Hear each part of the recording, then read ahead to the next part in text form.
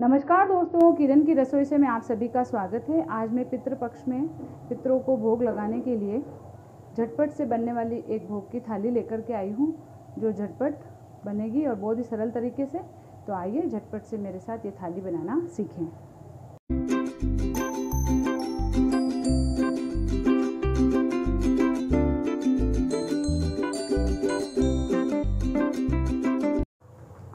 झटपट से श्राद्ध की थाली में हम सबसे पहले खीर बना रहे हैं। खीर की रेसिपी मैंने दो तीन बार पहले भी शेयर कर रखी है। तो हम इसमें दूध डाल रहे हैं भगोनी में। इस दूध को हम उबलने देंगे। दूध में हमारे उबाला आ गया है। अब इसमें हम अच्छे से कुटी हुई इलायची डालेंगे। इलायची ज़्यादा मात्रा में डालेंगे। चावलों के साथ जब इलायची पकती है तो चावल में बहुत अच्छा टेस्ट आ जाता है। तो इसलिए हम शुरुआत में ही डाल देते हैं। और अब इसमें हम भिगे हुए चावल डाल रहे हैं। तो वन फोर्थ कप मैंने चावल भिगो लिए थे। आधा लीटर दूध की खीर बना रही हूँ मैं आज। अब इसको हम कम आँच पर पकने देंगे और बीच बीच में चलाते रहेंगे। खीर हमारी अच्छी रेडी हो गई है। अब इसमें हम चीनी डालेंगे। जितने चावल हैं, उतनी हम चीनी डालेंगे। तो टेस्ट हमारा परफेक्ट बैठेगा। खीर में उबाला आ गया। अब गैस बंद कर देते हैं ताकि शक्कर भी हमारी अच्छे से घुल करके गाढ़ी हो गई है। इसमें हम ड्राई फ्रूट्स डाल देंगे, किशमिश, काजू, बादाम, पिस्ता, चिरौंजी, जो भी आपको पसंद हो ड्राई फ्रूट्स डाल दें। पूड़ी बनाएँगे। पूड़ी के लिए आटा ले लिया, इसमें नमक मिला दिया और इसका एक टाइट डो बनाऊँगी। थाली में हम आज भिंडी की सब्ज़ी बनाएँगे तो भिंडी काट लेती हूँ।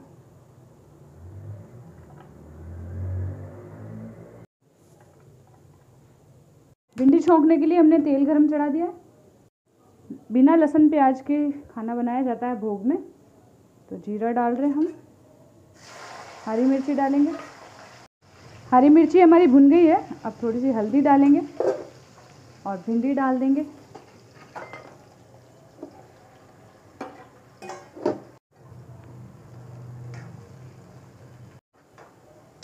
दो तीन मिनट तक हम इससे भुनेंगे ताकि इसकी चिकनाहट ख़त्म हो जाए और सब्ज़ी हमारी झटपट से बन करके तैयार हो जाए। तो भिंडी हमारी अच्छे से भुन गई है।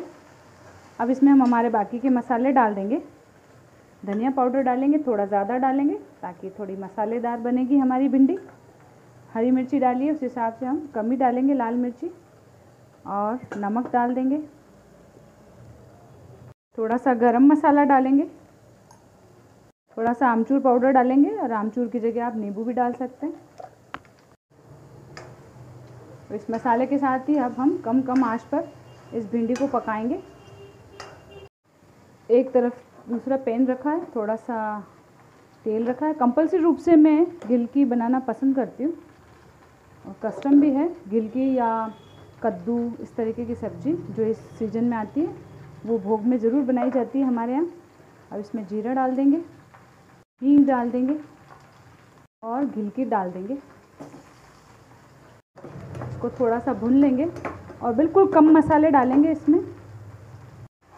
जो ऑफ़िस जाने वाले हैं, उन्हें सुबह जल्दी भोग बनाना हो तो उनके लिए बहुत अच्छा ऑप्शन है कि ये गिलकी बना लें। गिलकी जो है फटाफट बन जाती है और भोग में लगाई भी जाती है।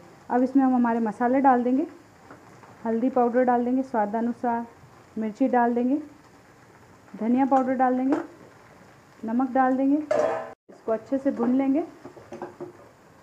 श्राद्ध के भोग के लिए हम पूड़ी भी तैयार कर लेते हैं। पूड़ी बनाने की रेसिपी भी मैंने पहले से शेयर कर रखी है डिटेल में। जो बिगनर्स हैं, उनके लिए वो काफ़ी हेल्पफुल होगी वो वीडियो कि पूड़ी को आप फूला फूला और बिना ऑयली आप कैसे बनाएँ। ये सारे टिप्स एंड ट्रिक्स मैंने उस वीडियो में शेयर कर रखे हैं। ये हमारी चाशनी रेडी है। बिल्कुल ठंडी चाशनी नहीं होनी चाहिए, हल्की गुनगुनी होनी चाहिए। ये जो है, हमारी मलाई पूरी गर्म है तो इसको हम डालेंगे गर्म गर्म को।